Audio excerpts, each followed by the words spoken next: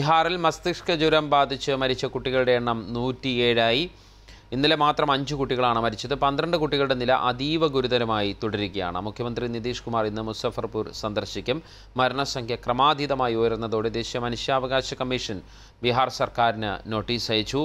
T V Prasad ചേരുകയാണ് വിശദാംശങ്ങളുമായി. പ്രസാദ് അതീവ ഗുരുതരമായ അവസ്ഥയാണ് ബീഹാറിൽ നിലനിൽക്കുന്നത്. മരണസംഖ്യ നൂറ്റിയേഴായിരിക്കുന്നു.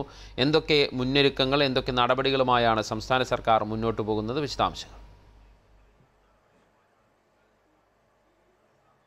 അൻസാർ മുസാഫർ മുസാഫൂർ ജില്ലയിലാണ് മുസാഫർപൂർ ജില്ലയിലാണ് ഈ സംഭവം പ്രധാനമായും ഉണ്ടായിരിക്കുന്നത്. നിലവിൽ തന്നെ ഏതാണ്ട് മുന്നൂറിലധികം കുട്ടികൾ ഇപ്പോഴും നിരീക്ഷണത്തിൽ കഴിയുകയാണ് എന്നാണ് മനസ്സിലാക്കുന്നത്. വലിയ ഒരു പ്രതിസന്ധിയായി ആരോഗ്യ പ്രതിസന്ധിയായി ബീഹാറിൽ ഇത് മാറിയിരിക്കുന്നു. ക്രമാനുഗതമായി കുട്ടികളുടെ മരണം കൂടിക്കൊണ്ടിരിക്കുന്ന ഒരു സ്ഥിതിയാണുള്ളത്. മസ്തിഷ്ക ജ്വരം നിയന്ത്രിക്കാൻ കഴിയാത്ത ഒരു സാഹചര്യം ബീഹാറിൽ ഉണ്ടായിരിക്കുന്നു. നിതീഷ് കുമാർ ഇന്നിപ്പോൾ ആശുപത്രികൾ ഈ ആശുപത്രികൾ സന്ദർശിക്കും എന്നാണ് മനസ്സിലാക്കുന്നത്. കഴിഞ്ഞ ദിവസം കേന്ദ്ര ആരോഗ്യമന്ത്രി ഹർഷവർദ്ധൻ ഈ ആശുപത്രികൾ സന്ദർശിച്ചിരുന്നു.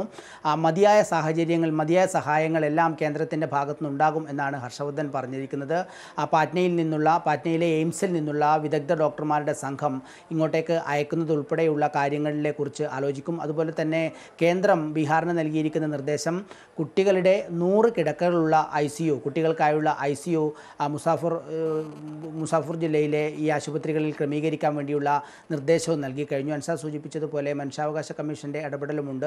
മറ്റൊരു സംഭവം കേന്ദ്ര ആരോഗ്യമന്ത്രിയും അതുപോലെ തന്നെ സംസ്ഥാന ആരോഗ്യമന്ത്രിയും ഇതിൽ വീഴ്ച വരുത്തി. ഇവർക്കെതിരെ നടപടി ആവശ്യപ്പെട്ടുള്ള ഒരു ഹർജിയും ഇന്നിപ്പോൾ അവിടുത്തെ കോടതി പരിഗണിക്കുന്നുണ്ട്. ചുരുക്കത്തിൽ ഇവിടുത്തെ കുട്ടികളുടെ ഈ മസ്തിഷ്ക ജ്വരം നിയന്ത്രണ വിധേയമാക്കാൻ നിലവിൽ കഴിഞ്ഞിട്ടുള്ള പക്ഷേ കാര്യമായതെല്ലാം ചെയ്യും എന്നാണ് കേന്ദ്ര സംസ്ഥാന സർക്കാരുകൾ അറിയിക്കുന്നത്.